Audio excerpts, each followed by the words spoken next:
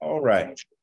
Um, of course, everybody knows this is the uh, cultural portion of the service. Um, we'll get started with the cultural. Wisdom is the principal thing. Therefore, get wisdom, and in all thy getting, get understanding. Shabbat shalom, Shabbat shalom. Last Shabbat, we kind of veered away from uh, cultural specifically and began to look at heritage and inheritance. We went all the way back to the beginning, Bereshit or Genesis. We went to Shemot or Exodus, and we concluded in Devarim or Deuteronomy. And in those five books, including Leviticus and Numbers, those five books commonly referred to as Torah. And we went there to demonstrate that Torah principles were cherished and passed on from Adam to his seed, from generation to generation, all the way through the flood, and from Noah and his three sons, generation to generation, from Abraham to Yitzchak, down to Yaquab, Jacob, better known as Yisrael. These are the keepers of the flame, so to speak, the candle bearers, dedicated to the Most High. And by definition, that's heritage. That's heritage. And that's what we're going to be focusing on heritage and inheritance. And Toda Rabah Moray Baruch, if you're on, uh, for that powerful message last night.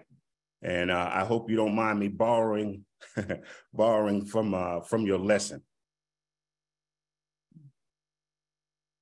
All right, let's take a look at another inheritance. Like last Shabbat, we looked at um, Deuteronomy 28, right? All the blessings and all the cursings as inheritance. I want to take another look uh, at another inheritance, which is cultural. And if it's cultural, then it's part of our heritage, worthy to be passed on to the next generation, beginning as early as birth. That's heritage. That inheritance, that heritage begins at birth. The language, the history, the dress, the Elohim that we worship, all begins at birth as a heritage. And that's what's passed on to generation and generation as an inheritance. So, getting wisdom is the principal thing, the primary thing, the chief thing. And we all know wisdom, chachma in Hebrew. Chacham is the root word.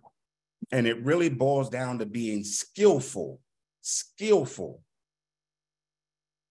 And so, what is skillful? Being skillful, but what is it? Skillful, right? The root word is skill. And that's the ability to use one's knowledge effectively and readily in execution or performance. It's also dexterity or coordination, especially in the execution of learned physical tasks. It's a learned power of doing something competently, a developed aptitude or ability. That's a reaching a level of understanding. That's skillful. So if being skillful is the principal thing, how do we become skillful? How do we become wise? Chacham.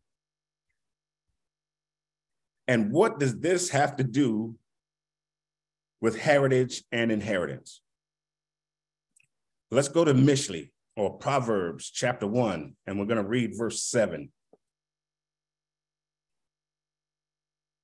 Mishli, commonly called Proverbs chapter one, we're going to read verse seven.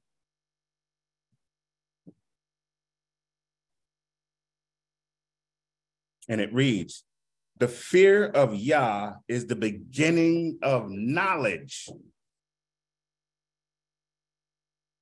The fear of Yah is the beginning of knowledge. And this is not a different translation. This is not a different translation. We know that the fear of Yah is also the beginning of wisdom.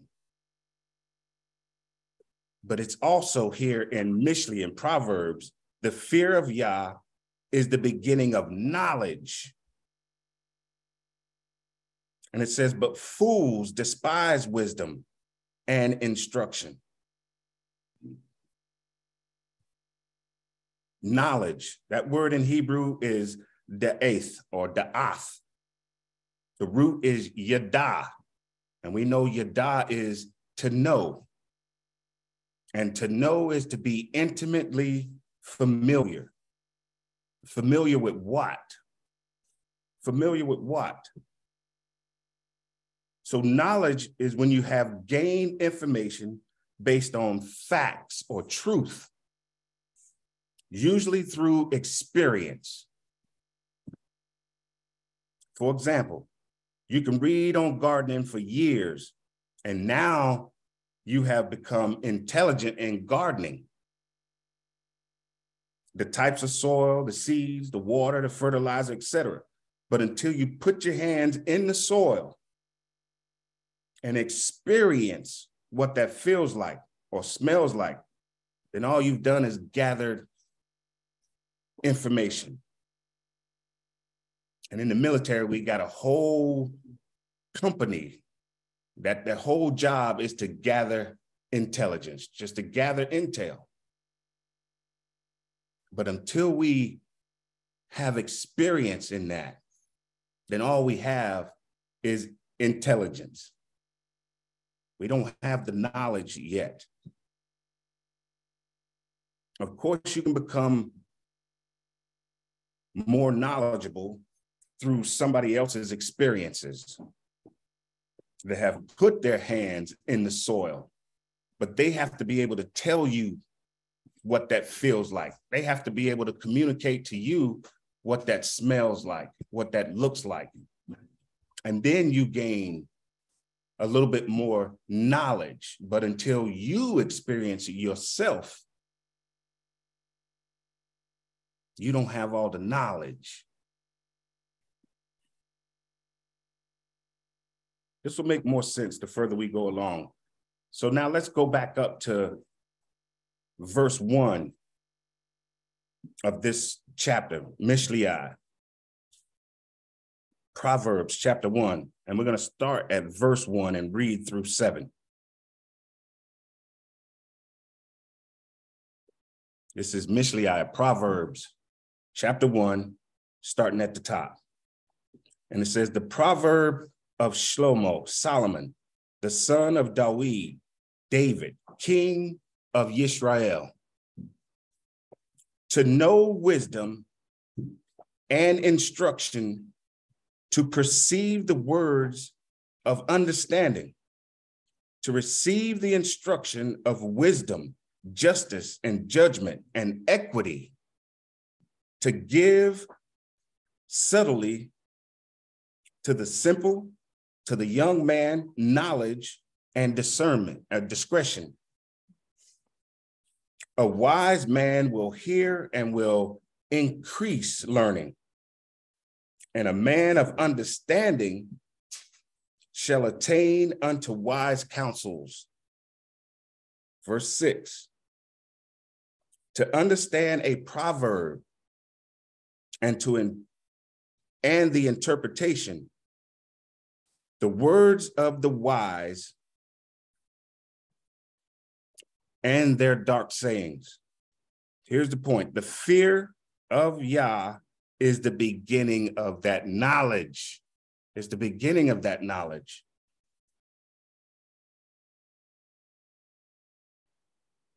It says in verse 8, My son, hear the instruction of thy father, and forsake not the law of thy mother.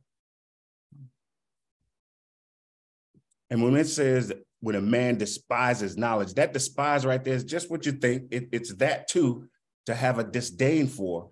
But in this context, it's talking about have no regard for. You regard it as being insignificant. And if you remember, that's the same thing Esau was. Esau despised that knowledge. When Yaquab, when Jacob was sitting in the tent, the counsels of wisdom, Esau decided he'd rather be out hunting. That's what it's talking about. And like I said, this will make more sense as we go along. And we're talking about skill, truth, knowledge, experience is all wrapped up in wisdom, which is the principal thing to get. It's that ability to use one's knowledge effectively in execution, in accomplishing a task or a duty. Let me say that again. Wisdom, that's the ability to use one's knowledge, that experience you gained out of the truth. The ability to use one's knowledge effectively in execution in accomplishing a task or a duty. Let's go to the book of Ecclesiasticus. That's in the Apocrypha, commonly called Sirach.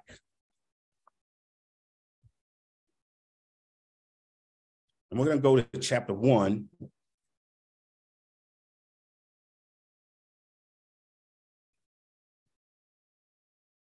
Well, I'll start off in the prologue, but we're going to go to chapter 45. So y'all can turn to chapter 45.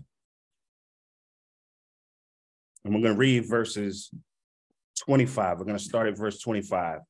But I'm going to read the prologue. And in some translations, it's called, it starts at chapter one, verse one. But in my version, the King James Version, they have it separated as the prologue. All right. While y'all turn into that chapter 45, I'm going to start at verse 25. I'm going to read a portion of this prologue. It says, The wisdom of Yahushai, Yahusha, Joshua, the son of Sirach, or Ecclesiasticus. This is the prologue. The prologue of the wisdom of Yahushai, or Joshua, the son of Sirach. Whereas many and great things have been delivered unto us by the law and the prophets and by the by and by others that have followed that have followed their steps. It's kind of dark up here, Slika. That have followed their steps. For the which things Israel ought to be commended for learning and wisdom, and wherefore and whereof not only the readers must needs become skillful themselves, but also they that desire to learn be able to profit from which are without, to profit them which are without both by speaking and writing. My grandfather, Yahushai, Joshua, Yahusha, when he had much given himself to the reading of the law, Torah, and the prophets, Nabaim, and other books, Sephar, Sepharim, of our fathers, and had gotten therein good judgment, was drawn on also himself to write, was drawn on also himself to write something pertaining to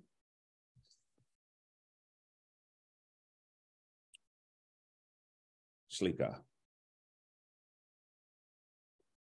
Okay, was drawn on also himself to write something pertaining to learning and wisdom, to learning and wisdom, to the intent that those which are desirous to learn and are addicted to these things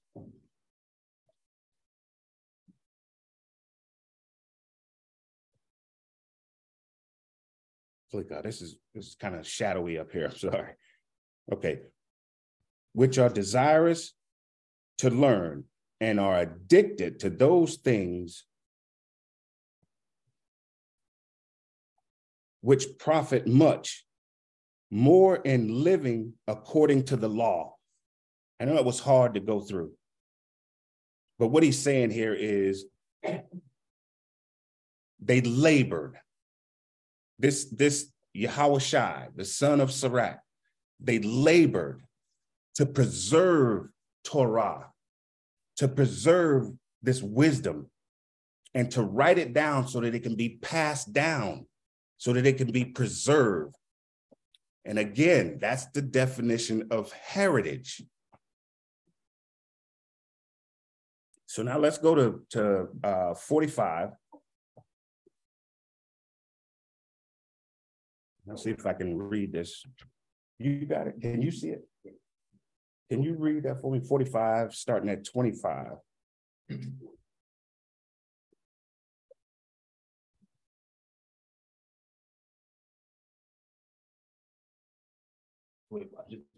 Twenty-five and twenty-six, Toda.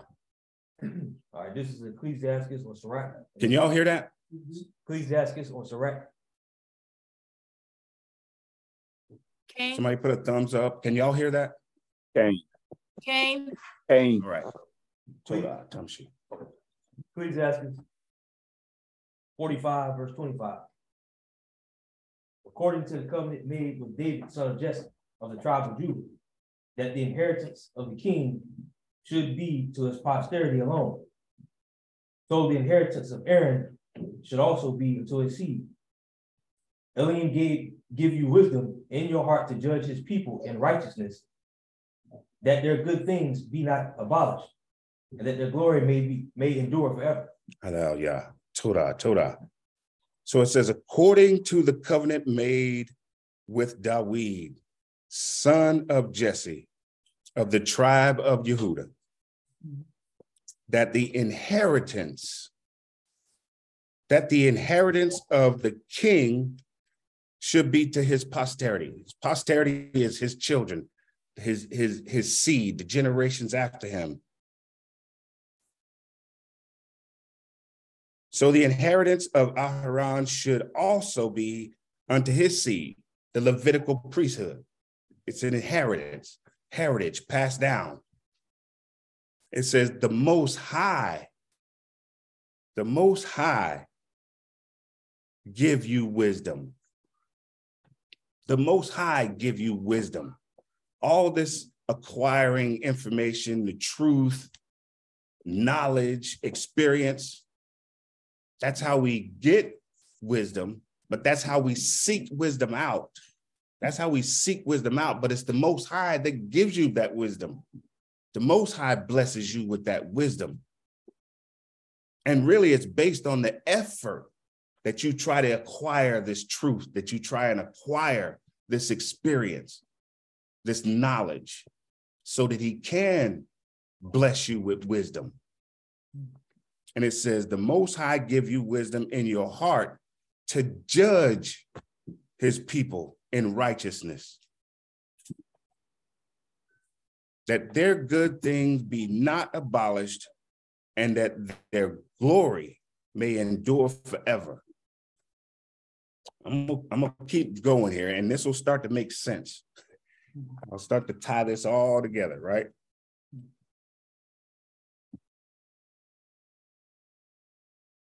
The Most High gives you wisdom in your leb. That heart there in Hebrew is the leb. That's your, your mind, your soul, your nefesh. And really, we live inside our mind. We live. What we think is how we live. So he says he's give the Most High gave gave Solomon wisdom in his leb, in his soul, in his heart so that Solomon could judge his people in righteousness, can rule his people in righteousness. King Solomon sought out wisdom. And if you do some, if you go through uh, Wisdom of Solomon, Songs of Solomon, um, and these Proverbs and Ecclesiastes, you start to see that Solomon was always seeking the answer to life, a particular kind of life, in every aspect of life. And when he was anointed, he asked the Most High for the wisdom of all of that seeking that he was doing. Give me wisdom and understanding so that I can rule your people the way you want them ruled, based on all this heritage that was passed down from generation to generation to generation.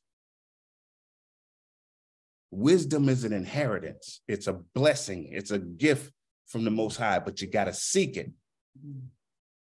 You got to search it out. You got to be diligent. And like Sirach said, you got to be somewhat addicted to seeking it out. Wisdom is a gift from the Most High, but we have to seek her out chiefly as the principal thing. So let's go to Proverbs. We're going to go back to chapter 1, and we're going to read verse 20. I don't think that's not what I want. We're going to go to Proverbs chapter 3. Proverbs chapter 3, just turn over one. Proverbs chapter 3. And we're going to start at verse 13. Remember, wisdom is a gift from the Most High, but we have to seek her out as the principal thing, as the chief thing. So at of Proverbs chapter 3, starting at verse 13. And it reads, Happy is the man that findeth wisdom. Happy is the man that findeth wisdom, and the man that getteth understanding. Verse 14 For the merchandise of it is better than the merchandise of silver, and the gain thereof than fine gold. She, wisdom, is more precious than rubies, and all the things thou canst desire are not to be compared unto her. There is no comparison to her. Wisdom whatever you desire, it can't compare to how your desire should be for wisdom. That word happy is esher, esher, and it really means blessedness. It means relieved in whoever finds her. Whatever else there is that is pleasing or desirable, it can't compare to her wisdom. Let's go over one more chapter, chapter four. I'm going to read verses five through 13.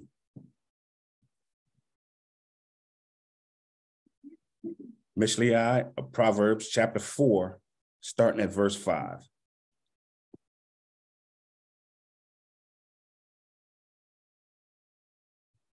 verse 5, and it reads, Get wisdom, get understanding, forget it not, neither decline from the words of my mouth. Now, just a little bit of background. Um, most scholars say that this is King Solomon's is writing most of these proverbs. That's him. And and the picture is he's got um his children, but really he's a father figure to the nation of Israel the nation of Israel. He's a father figure and he's teaching them, he's passing down these proverbs. All right. So at verse, uh, where we at? Chapter five, uh, chapter four, verse five. So it says, Get wisdom, get understanding, forget it not, neither decline from the words of my mouth. Forsake her not, wisdom, and she shall preserve thee. Love her, wisdom, and she shall keep thee. Verse 7 Wisdom is the principal thing, therefore get wisdom, and with all thy getting, get understanding, discernment,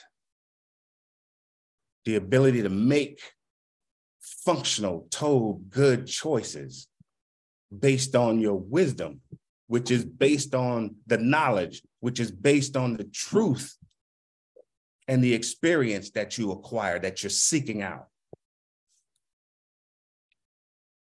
Exalt her, and she shall she shall promote thee. She shall bring thee, she shall bring thee to honor when thou when thou dost embrace her. This is wisdom. It's talking about wisdom and it's giving it the characteristics of her, nurturing, protective, she shall give to thee, she shall give to thine head an ornament of grace.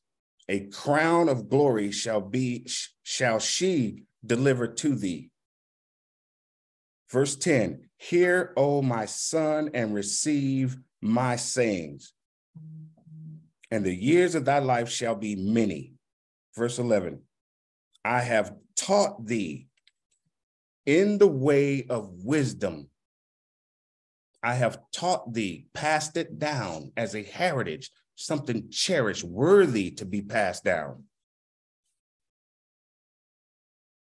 I have led thee in right paths. When thou goest, thy steps shall not be straitened. If you acquire that wisdom, if you attend, if you attend to that wise counsels, that Solomon was talking about.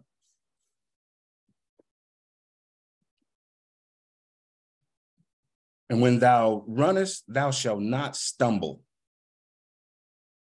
Take fast hold of instruction. Let her not go. Keep her, for, for she is thy life. Wisdom is thy life keeps you from being, and I don't want to be crass, but it keeps you from being foolish. That's the opposite of wise, is foolish. And remember, we're talking about heritage, we're talking about inheritance. And wisdom is part of that, it's cultural to us. Verse 14 Enter not into the path of the wicked, and go not in the way of evil men, avoid it, pass not by it, turn from it, and pass away.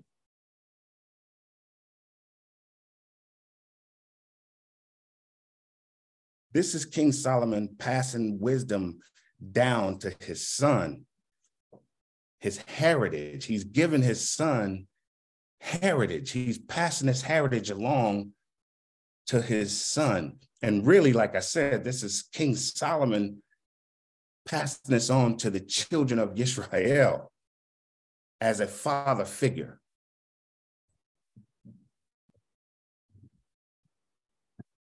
He's passing his heritage on so that it might, so that his son might inherit life, a particular kind of life,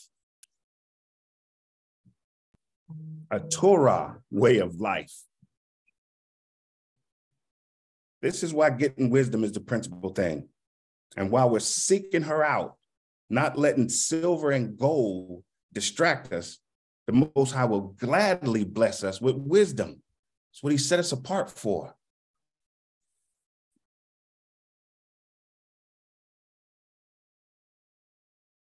When this inheritance, this heritage, with this heritage comes a duty, a duty that we're charged to execute effectively. And we saw that wisdom is the ability to readily execute this duty. Let's go to Deuteronomy chapter 4, verses 5 through 8. And I'll get to the close. Devarim or Deuteronomy chapter 4. And we're going to start at verse 5.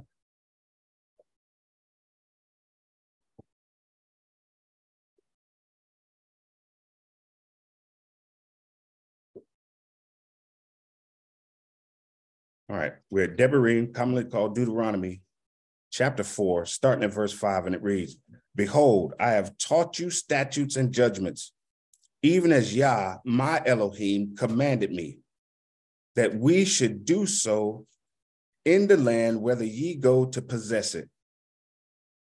Six, keep therefore and do them, for this is your wisdom. For this is your wisdom and your understanding. Wisdom is the principal thing. Get that wisdom, but in all that getting, get understanding. These laws, statutes, and commandments is our wisdom and our understanding. That's our culture. That's our way of life. It's a heritage that is worthy to be passed down generation to generation as a duty.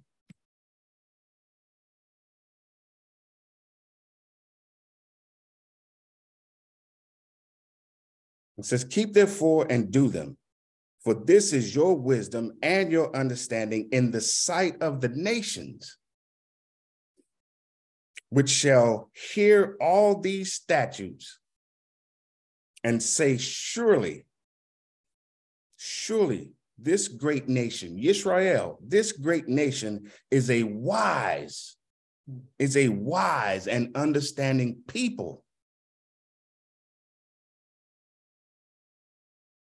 For what nation is, is there so great, Israel, who hath the Most High so nigh unto them, as Yah, our Elohim, is in all things that we call upon him for?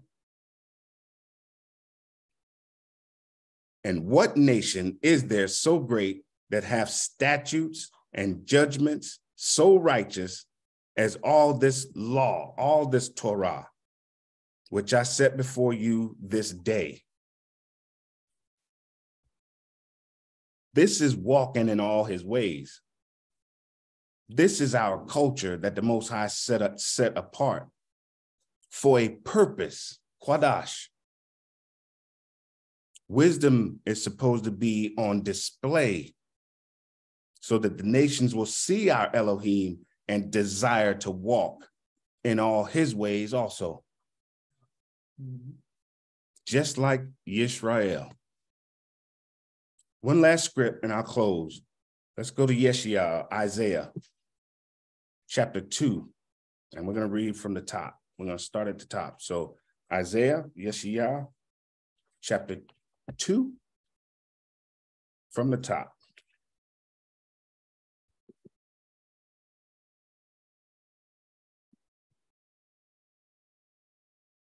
This is future prophecy, by the way. This is this is going to happen.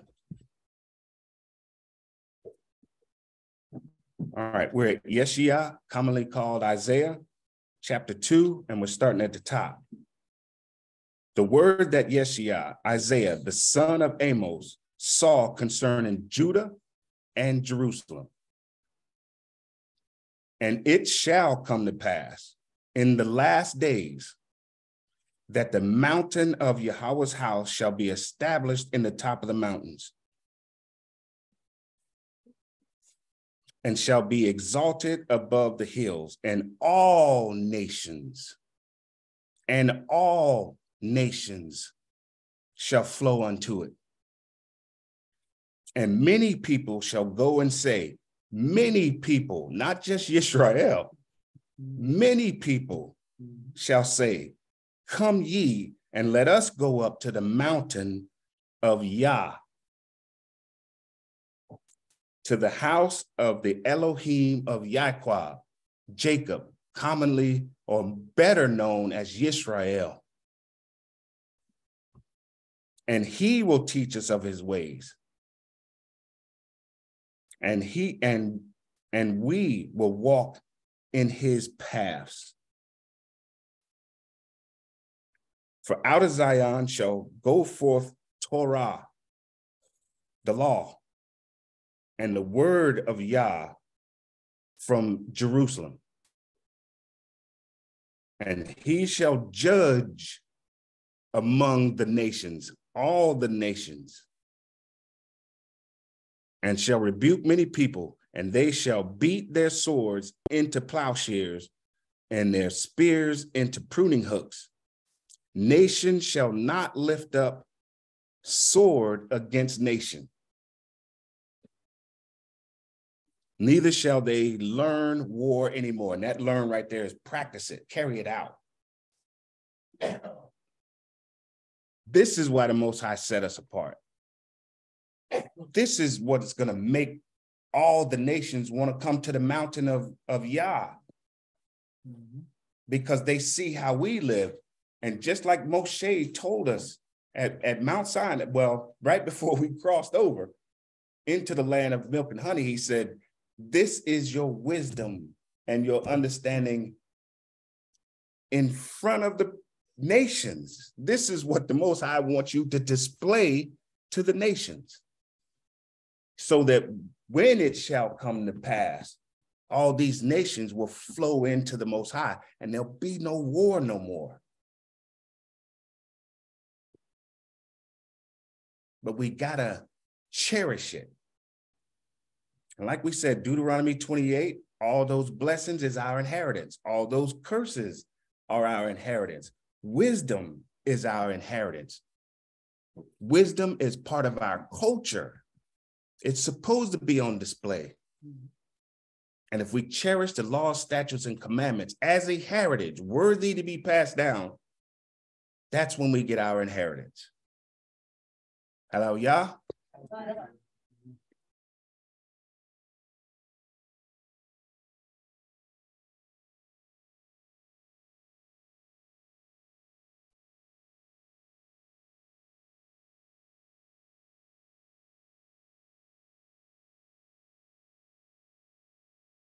All right, Mishpachah. Um, I pray that it was just thought provoking, at least, and that you learned something. And at this time, at this time, we're going to turn it over for the two minute warning. Adon Kanakya, Babakasha. I'll switch places with you so you can get the.